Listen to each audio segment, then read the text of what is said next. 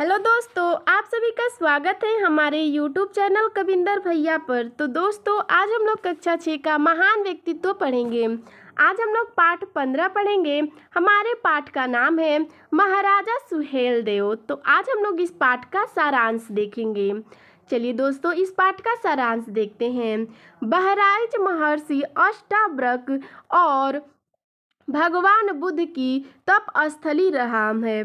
देखिए दोस्तों, ये जो बहराइच है, ये महर्षि अष्टावक्र और भगवान बुद्ध का तप स्थली है। यहाँ पे वो आकर तप करते थे।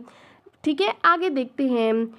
इस जनपद में बाबागंज रेलवे स्टेशन से तीन किमी दूर चरदा नामक स्थान है। जो ये इस जनपद है, जो ये जनपद है, वहाँ पे जो बाबागंज रेलवे स्टेशन है, उससे तीन किमी दूरी पर एक चरदा नामक स्थान है। यहाँ सुहेलदेव नामक राजा राज करते थे। जो ये चरदा नामक स्थान है, यहाँ पे सुहेलदेव नामक एक राजा थे, जो यहाँ पे राज करते थे। आगे देखते हैं। इन्हें सुहिरी ध्वज भी कहा जाता है। जो ये सुहेल देव नामक राजा हैं, उनको सुहिरी ध्वज भी कहा जाता है।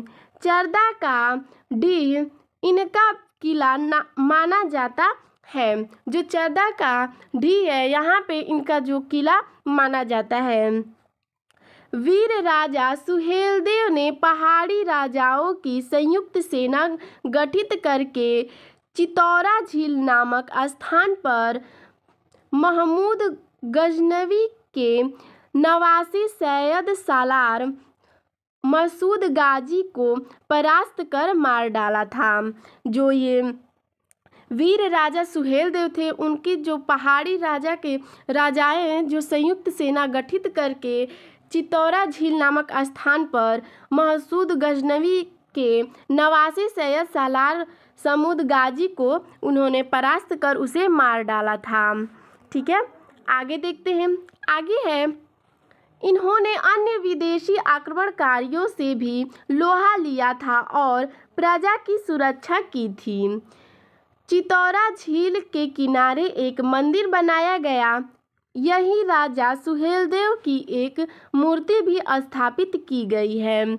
यहाँ पे चितौरा जो झील है, उसके किनारे एक मंदिर बनाया गया था, जहाँ पे सुहेल देव की एक मूर्ति भी स्थापित की गई थी। आगे देखते हैं। इनकी स्मृति में इस स्थान का नाम सुहेल नगर रखा गया। सुहेल देव के नाम पर उनकी याद में वहाँ पे एक मतलब नाम रखा गया था सुहेल नगर ठीक है? उस स्थान का नाम रख दिया गया था। आगे देखते हैं, प्रतिवर्ष वसंत पंचमी को यहाँ मेला लगता था। कहाँ पे? तो सुहेल नगर में। उनकी स्मृति में जो स्थान बनाया गया था, नाम दिया गया था, वहाँ पे प्रतिवर्ष, यानी कि हर वर्ष वहाँ पे वसंत पंचमी को वहाँ पे मेला लगता है। ठीक है? उनकी याद में। तो दोस्तों, आपको हमारा यह वीडियो कैसा लगा हमें कमेंट में ज़रूर बताइएगा। धन्यवाद।